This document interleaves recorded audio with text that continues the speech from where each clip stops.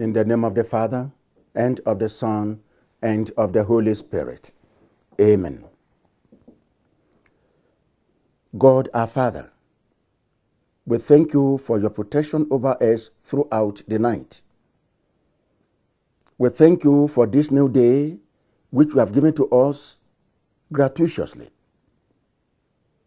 We pray you to bless us as we go through it.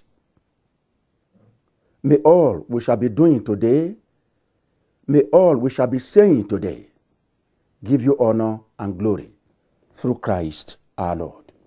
Amen.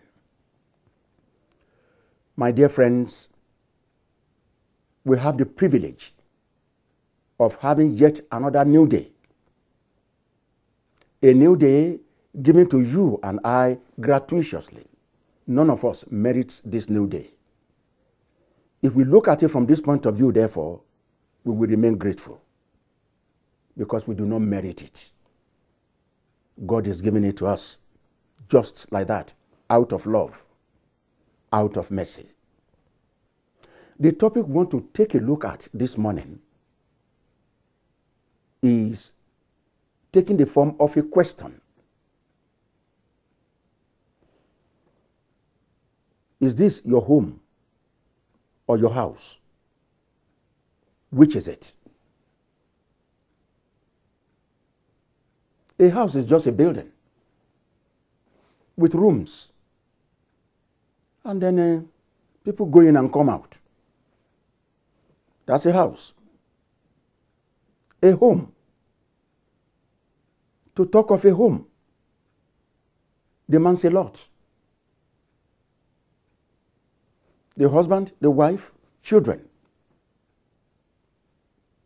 Father, mother, and children living in harmony with God at the center. You could see love radiating. You could see understanding clearly shown. That is a home. Have you a house or a home? It becomes pathetic if where families live do not go beyond just houses. You can get a husband and wife who go in to sleep after the day's work, wake up to separate again, and to come back. At best, they are co tenants, but not a family. They hardly talk together, no sharing. When you have a situation like that, when you have a situation like that, certainly unacceptable. Where children are afraid even to go home.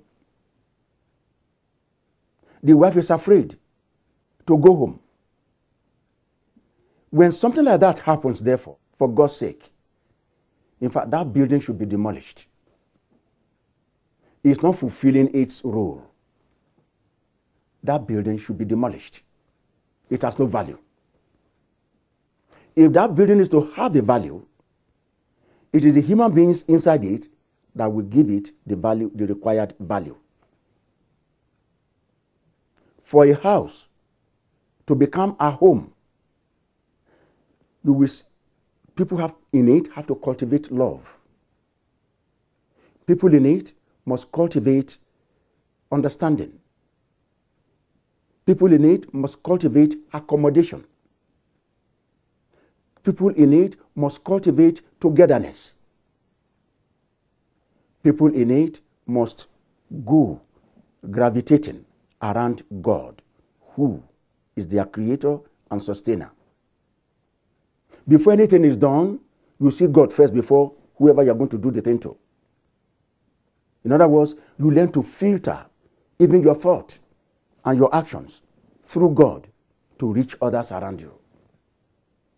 When we do that way, then we are beginning to form a home. We need a home. My friend, have you greeted your spouse this morning?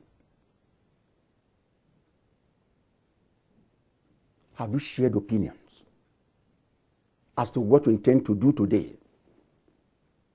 Any sharing? Or you simply just woke up and everybody to his or her way? Then you are running a house, not a home. But God wants you to run a home. God wants you to run a home. Even when your children go out from this house this morning, they want to be eager to come back. Why? Because they are returning to a home where there is love, where there is understanding, where there is accommodation. If your children don't have accommodation anymore in your house, for God's sake, you have no right to call it a home. And anytime they are coming home or they are coming to the house, it is like, oh God, again. They are in school.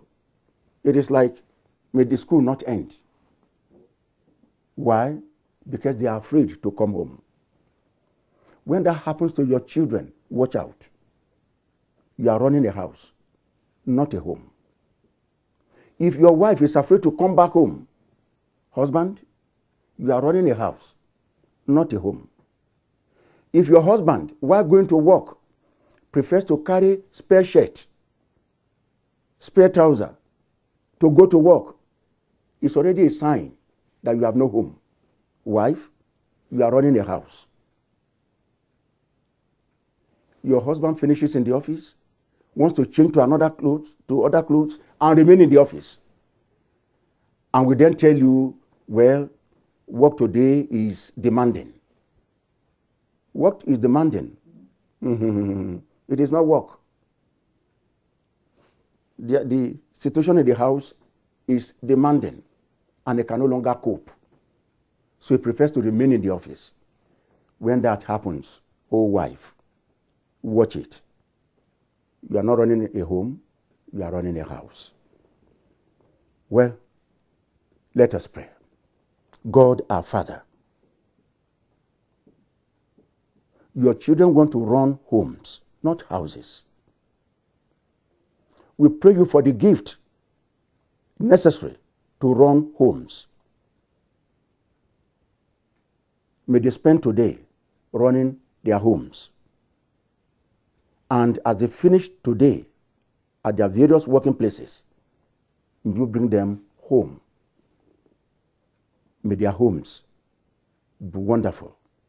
May their homes be worthy of your name. We make a prayer through Christ our Lord. May Almighty God bless you, Father, Son, and the Holy Spirit. Amen.